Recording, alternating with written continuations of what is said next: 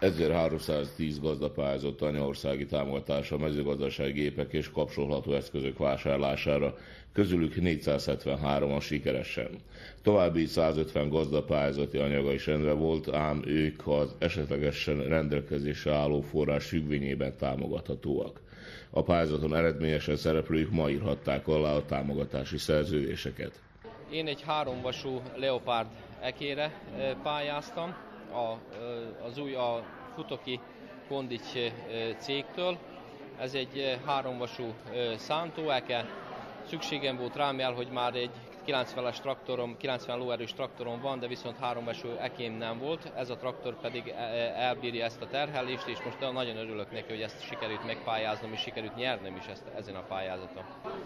Bontatott szántóföldi permetező lesz a tárgy, és ez nagyba fogja segíteni a munkát. Ma aláírt, mikor lesz ebből úgy mondjam világosan fogalmazva pénz?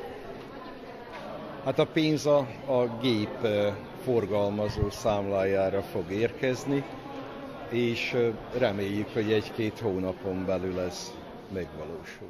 A Prosperitate Alapítványban megtudtuk, hogy a nagy érdeklődés miatt az elsődlegesen 105 millió dinára tervezett keretet valamivel több mint 240 millió dinára emelték.